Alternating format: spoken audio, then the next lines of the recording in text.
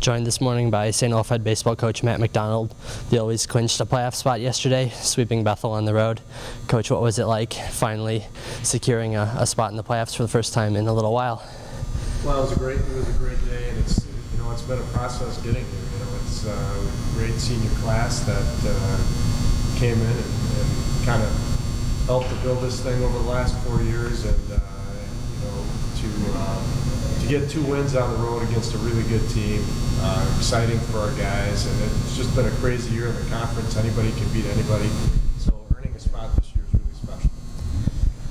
And then I guess you still got another couple big games against Gustavus, who's currently in first place this weekend. You still got a chance to win a regular season title. Just give us a look ahead to those games because your work certainly isn't done yet.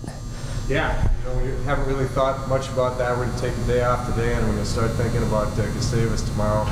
Know they're a great baseball team and, and uh, well coached, and uh, but uh, the, the conference title is on the line. We're excited to play for it, we're making the trip to St. Peter.